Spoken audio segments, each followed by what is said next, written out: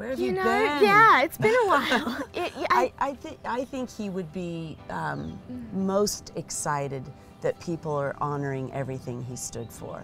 And I know that's what he would want to say is that we all need to participate in conservation. We can't take for granted our beautiful wildlife and wild places. And Steve really personified that childlike enthusiasm for everything. And sometimes in day to day life, you lose that.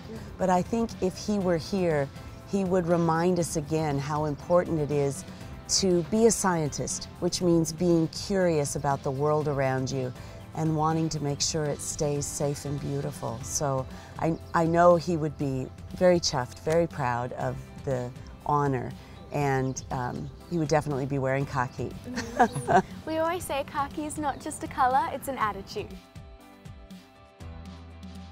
For me personally, we're so lucky because we live right in the middle of Australia Zoo and that's where we've grown up. So our backyard really is Australia Zoo, our family of animals. You know, we have crocodiles on one side of our house and giraffes on the other and that's really special. And you know, I think that on days when I just want to reconnect and reflect, I always go to our beautiful kangaroo paddock.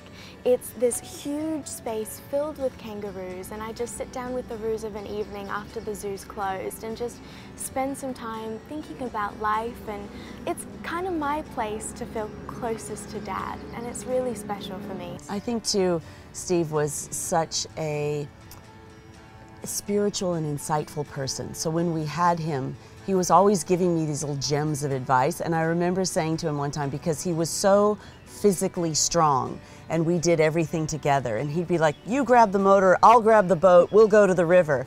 And I think, Great, this motor weighs the same as me, this is not easy. And I said to him one day, I wish just for like 24 hours I could be as strong as you because it would be really fun just to pick stuff up. and he said, You know, there's different kinds of strengths.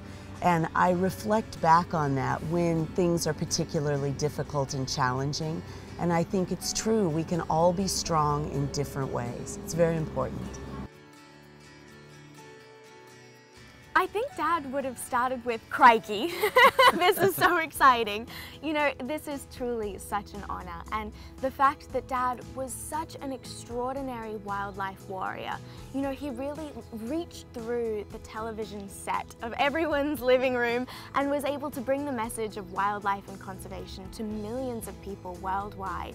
To have a conservationist on the Hollywood Walk of Fame is a wonderful honor. And I think that he would be just so so excited. And you know, we are really happy that we're all here as a little family to be able to unveil his star.